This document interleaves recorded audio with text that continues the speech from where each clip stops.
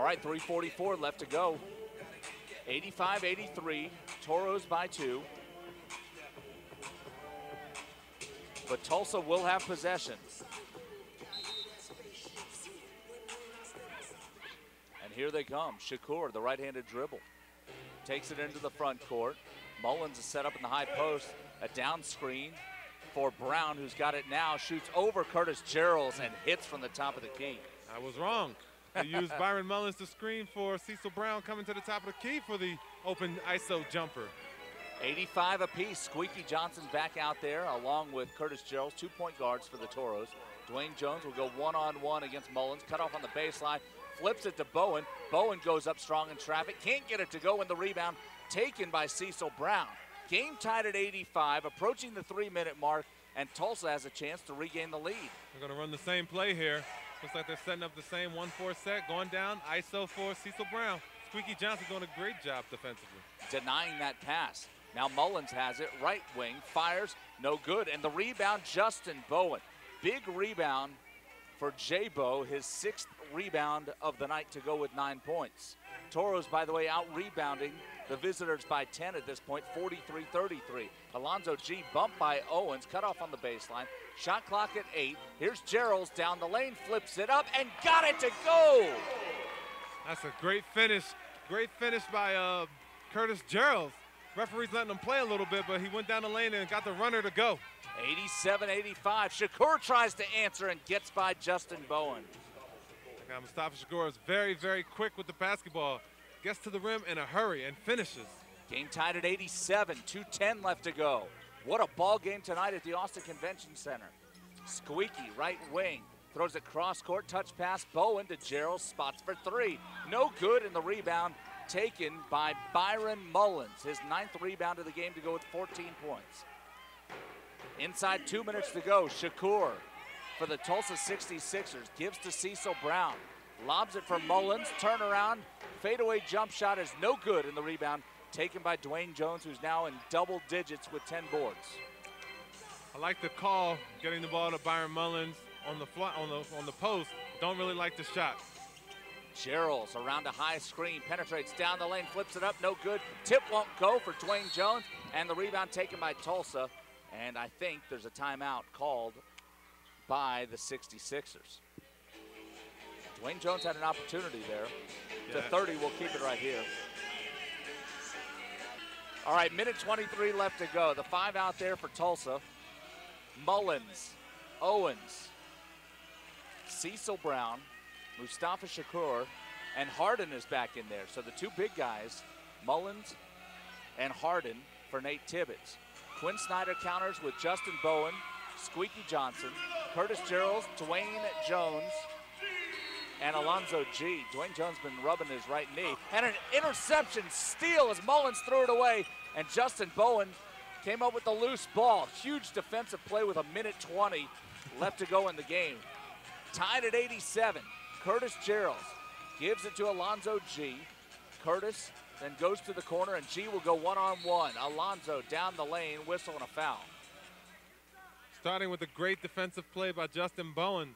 Alonzo Gee continued it with a great drive from the elbow. If he can take over this last minute, that'll really show the scouts something very positive about him. They look like they're going to run the same play, which is probably an ISO for Alonzo Gee on the left side elbow. Well, right now he's guarded by Larry Owens. Inbounds it goes to Jerrells. Curtis Jerrells, the Baylor Bear, with 10 on the shot clock. And then Alonzo Gee is fouled on the wing by Owens with nine on the shot clock. And a silly foul, silly foul if you're Larry Owens. I like the aggressiveness trying to take the best player on the Toros out of his game, but ticky-tack foul sends him to the line for an easy two.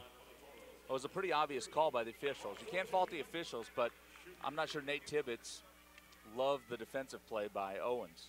Not at all. Alonzo Gee, very talented, but I'm not sure he was going to do anything 25 feet from the basket on the wing. Alonzo hits the freebie.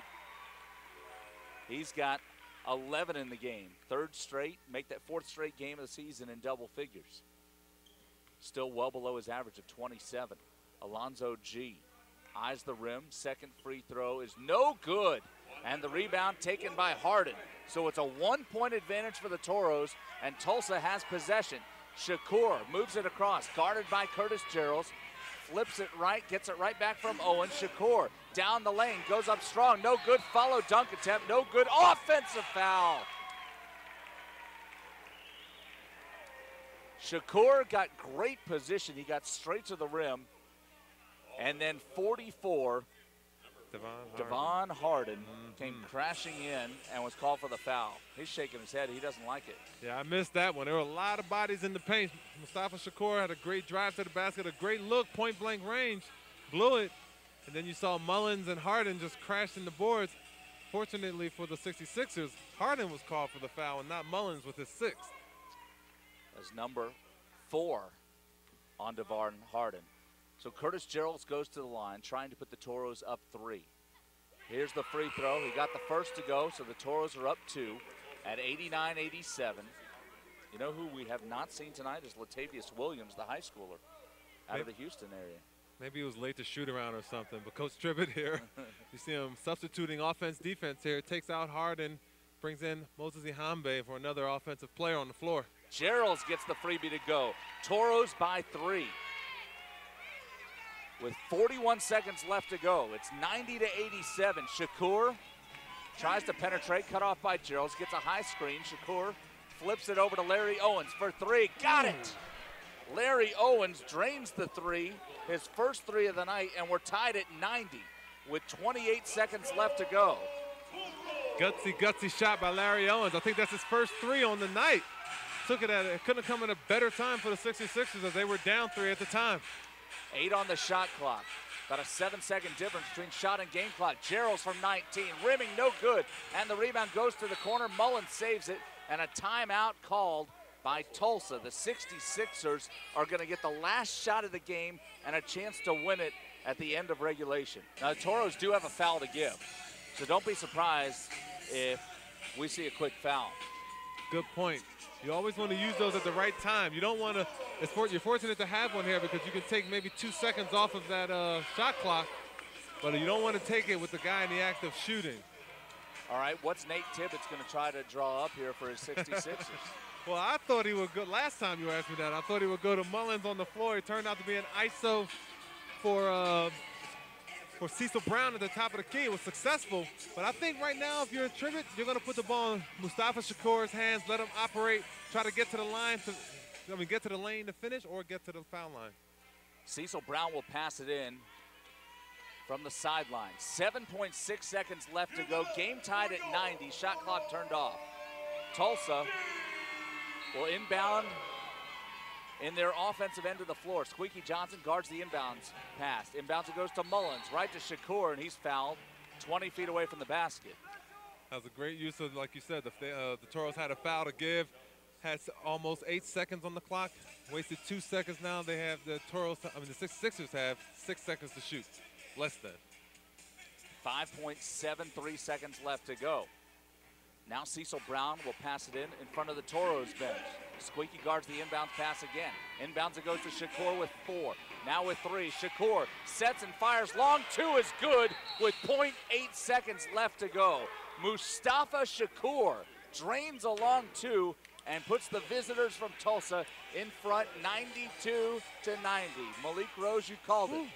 I mean, you got to get this thing in, and the first good look you have, you have to take advantage of it. Yeah, it's possible, but I look for, like I said, Lewis Clinch to get a few screens, and if he's not open on those screens, throwing it up towards the rim to Dwayne Jones, letting him just go up and try and finish. Mustafa Shakur giving the 66ers a two-point lead at 92-90. For the Toros, it's Justin Bowen to pass it in in the front court.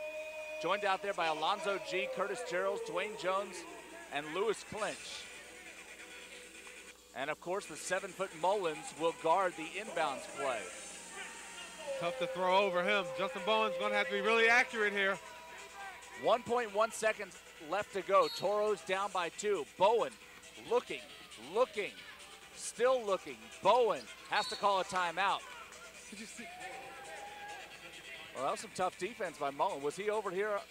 He was almost in our broadcast lap. Yeah, he was almost in a broadcast lab. Great job by uh, Byron Mullens of blocking Justin Bowen's view because Curtis G was wide open, one for the lob, and then the 66ers still didn't recognize that he actually had a good second or two under the rim unguarded.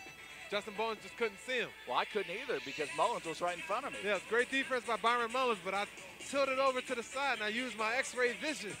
and Alonzo Gee, I don't know if we can get a replay of it, wide open under the rim. Great play by Curtis Snyder because, I mean, Quin Snyder, because he got a man open under the rim for the tying basket, but even better defense by Mullens because Justin Bowen couldn't see it. Was it Alonzo Gee or Curtis Jerrells wide open? Alonzo Gee caught a back screen at the foul line and went for the uncontested lob at the rim. Justin Bowen couldn't see it, and then Alonzo Gee, when he didn't get the lob, he was still open under the rim, calling for the basketball, but Justin Bowen just couldn't see over uh, the seven-foot Byron Mullens. All right, we'll do it again. 1.1 seconds left to go. 92-90. Toros down by two. Justin Bowen to pass it in right in front of us. Gets the ball. Looking, looking. Bowen gives it to Ah. Gerald. Gerald shoots a three for the win. No good. He had a decent look, but that was a long, long three. And the Toros and Tulsa 66ers will split the two-game set. Yeah, it's unfortunate. Two splits. They really, I mean, we could, we should, we really should be in overtime right now. I don't know if we can get that play. Alonzo Gee was under the rim, calling for the basketball, wide open. Uh, unfortunately, couldn't get him the, the No, basketball. the, the Toros led by as many as 11, Oh, but yeah. Tulsa was very gritty in clawing back into this one, and Mm-hmm. and proper credit goes to the Tulsa 66ers. I mean, they they did what they had to do. They um, they used their personnel effectively, and they end up coming in here. And after getting blown out by 20, Yeah. they sneak out of here with a two-point win. That's exactly right. You know, they got blown out last night, really embarrassed, but they were able to come back tonight, like you said, with a lot of grit, a lot of determination, fight, and uh, they came back from 11 down to eke out a two-point victory on the road. Very Not good. e- not easy to do. 92.